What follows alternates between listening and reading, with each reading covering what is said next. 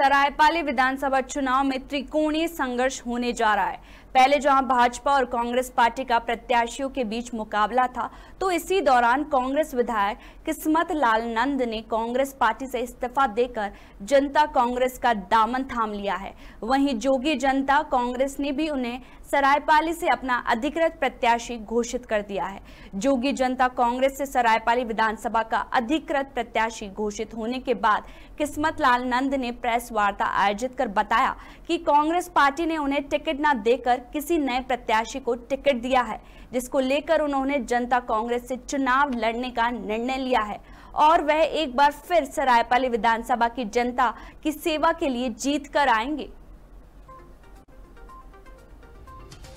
अगस्त सराईपाली से एक सड़क है, जो गोरे सिंह आके निकलता है, वो 109 करोड़ का सड़क है। और इस प्रकार से सारा सड़क, पुल, पुलिया जो 15 साल तक नहीं बना था, वो मैंने बनवाया। तो मुझे ऐसा लगता था कि मैंने क्षेत्र का बहुत विकास किया। आज भंवरपुर में, भंवरपुर सराईपाली से जो 40 किलोमीटर बच्चे जो साजापाली के हैं, वो यहाँ पे कॉलेज स्कूल आते थे। मैं उसमें भंवरपुर में एक कॉलेज खुलवाया, स्वामी आत्मी आत्मानंद इंग्लिश मीडियम खुलवाया। और ये सभी चीज़ों को देखते हुए मुझे ऐसा लगता था कि 2023 में कांग्रेस पार्टी एक बार फिर से मुझको प्रत्याशी बनाएगी।